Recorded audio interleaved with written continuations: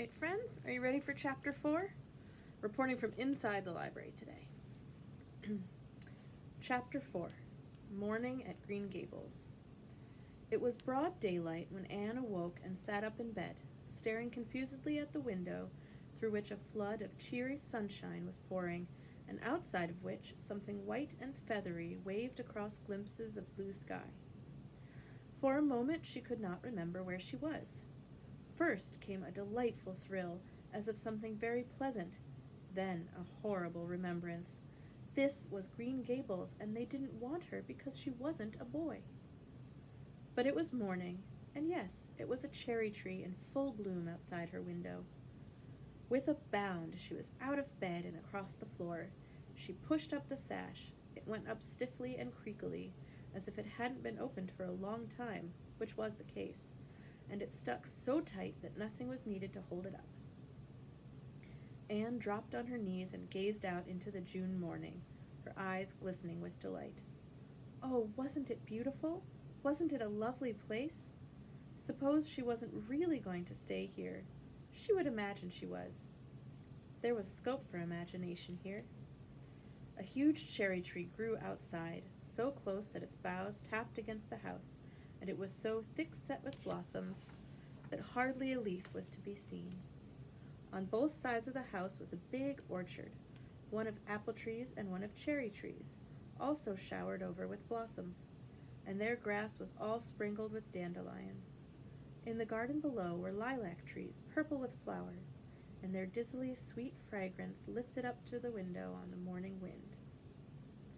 Below the garden, a green field lush with clover sloped down to the hollow where the brook ran and where scores of white birches grew, upspringily airily, upspringing airily out of an undergrowth suggested of delightful possibilities in ferns and mosses and woodsy things generally. Beyond it was a hill, green and feathery with spruce and fir, there was a gap in it where the gray gable end of the little house she had seen from the other side of the lake of shining waters was visible. Off to the left were the big barns, and beyond them, away down over green, low-sloping fields, was a sparkling blue glimpse of sea. Anne's beauty-loving eyes lingered on it all, taking everything greedily in. She had looked on so many unlovely places in her life, poor child, but this was as lovely as anything she had ever dreamed. She knelt there, lost to everything but the loveliness around her, until she was startled by a hand on her shoulder. Marilla had come in unheard by the small dreamer. It's time you were dressed, she said curtly. Marilla really did not know how to talk to the child, and her uncomfortable ignorance made her crisp and curt when she did not mean to be. Anne stood up and drew a long breath. Oh, isn't it wonderful? She said, waving her hand comprehensively at the girl good world outside. It's a big tree, said Marilla, and it blooms great, but the fruit don't amount to much, never. Small and wormy. Oh, I don't mean just the tree. Of course it's lovely. Yes, it's radiantly lovely. It blooms as if it meant it. But I meant everything the garden, and the orchard, and the brook, and the woods, the whole big dear world. Don't you feel as if you just loved the world on a morning like this? And I can hear the brook laughing all the way up here. Have you ever noticed what cheerful things brooks are? They're always laughing. Even in winter time, I've heard them under the ice. I'm so glad there's a brook near Green Gables. Perhaps you think it doesn't make any difference to me when you're not going to keep me, but it does. I shall always like to remember that there is a brook at Green Gables, even if I never see it again. If there wasn't a brook, I'd be haunted by the uncomfortable feeling that there ought to be one. I'm not in the depths of despair this morning. I never can be in the morning. Isn't it a splendid thing that there are mornings? But I feel very sad. I've just been imagining that it was really me you wanted, after all, and that I was to stay here forever and ever. It was a great comfort while it lasted, but the worst of imagining things is that the time comes when you have to stop, and that hurts. You'd better get dressed and come downstairs, and never mind your imaginings, said Marilla, as soon as she could get a word in edgewise. Breakfast is waiting. Wash your face and comb your hair. Leave the window up and turn your bedclothes back over the foot of the bed. Be as smart as you can. Anne could evidently be smart to some purpose, for she was downstairs in ten minutes' time, with her clothes neatly on, her hair brushed and braided, her face washed, and a comfortable consciousness pervading her soul that she had fulfilled all Marilla's requirements. As a matter of fact, however, she had forgotten to turn back the bedclothes. I'm pretty hungry this morning, she announced as she slipped into the chair Marilla placed for her. The world doesn't seem such a howling wilderness as it did last night. I'm so glad it's a sunshiny morning, but I like rainy mornings real well too. All sorts of mornings are interesting, don't you think? You don't know what's going to happen through the day, and there's so much scope for imagination. But I'm glad it's not rainy today, because it's easier to be cheerful and bear up under affliction on a sunshiny day. I feel that I have a good deal to bear up under. It's all very well to read about sorrows and imagine yourself living them through them heroically, but it's not so nice when you really come to have them, is it? For pity's sake, hold your tongue, said Marilla. You talk entirely too much for a little girl. Thereupon, Anne held her tongue so obediently and thoroughly that her continued silence made Marilla rather nervous, as if in the presence of something not exactly natural. Matthew also held his tongue, but this at least was natural, so that the meal was a very silent one. As it progressed, Anne became more and more abstracted, eating mechanically, with her big eyes fixed unswervingly and unseeingly on the sky outside the window. This made Marilla more nervous than ever. She had an uncomfortable feeling that while this odd child's body might be there at the table, her spirit was far away in some remote, airy cloudland, borne aloft on the wings of imagination. Who would want such a child about the place? Yet Matthew wished to keep her of all unaccountable things. Marilla felt that he wanted it just as much this morning as he had the night before, and that he would go on wanting it. That was Matthew's way take a whim into his head and cling to it with the most amazing silent persistency, a persistency ten times more potent and effectual in its very silence than if he had talked it out. When the meal was ended, Anne came out of her reverie and offered to wash the dishes. Can you wash dishes right? asked Marilla distrustfully. Pretty well. I'm better at looking after children, though. I've had so much experience at that. It's such a pity you haven't any here for me to look after. I don't feel as if I wanted any more children to look after than I've got at present. Your problem enough, in all conscience. What's to be done with you, I don't know. Matthew is a most ridiculous man. I think he's lovely, said Anne reproachfully. He is so very sympathetic. He didn't mind how much I talked. He seemed to like it. I felt that he was a kindred spirit as soon as ever I ever saw him. You're both strange enough, if that's what you mean by kindred spirits, said Marilla with a sniff. Yes, you may wash the dishes.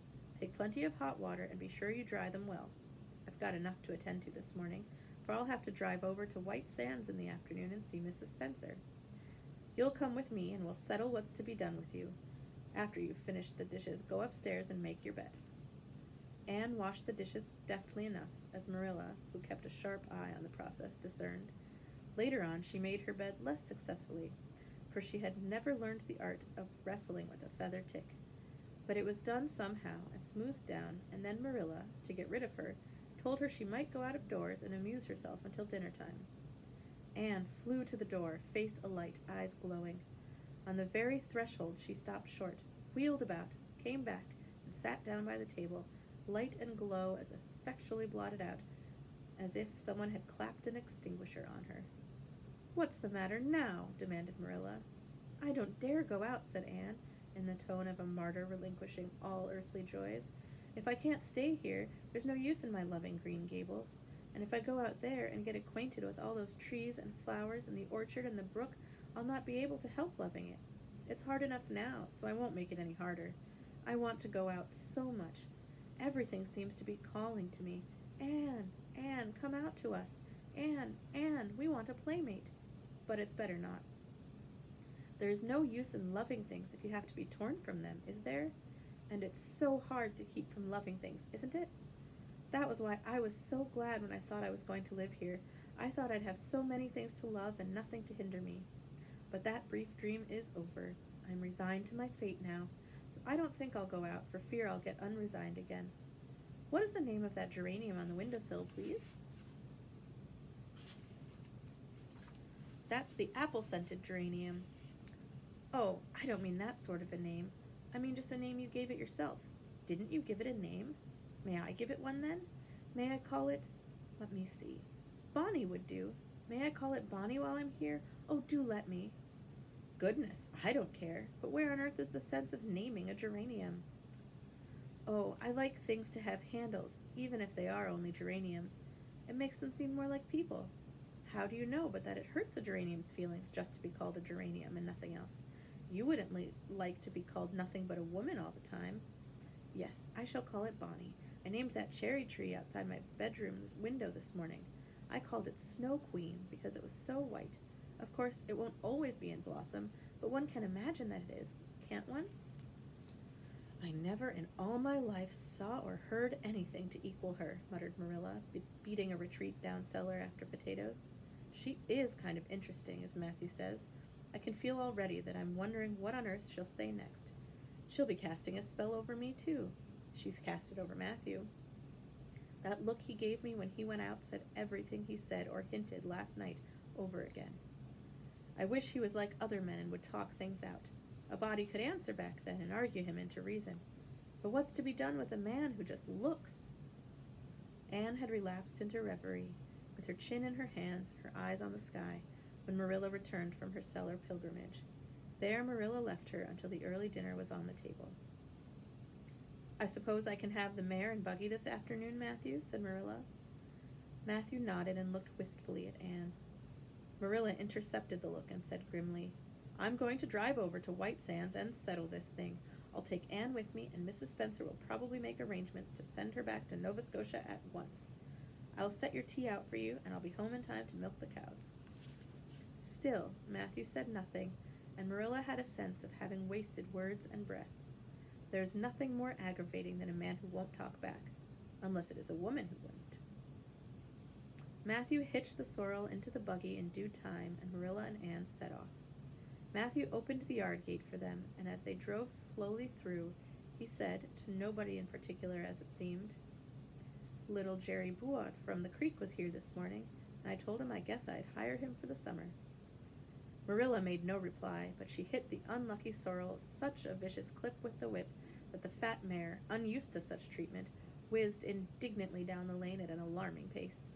Marilla looked back once as the buggy bounced along and saw that aggravating Matthew and saw that aggravating Matthew leaning over the gate, looking wistfully after them. And that's chapter four. See you tomorrow.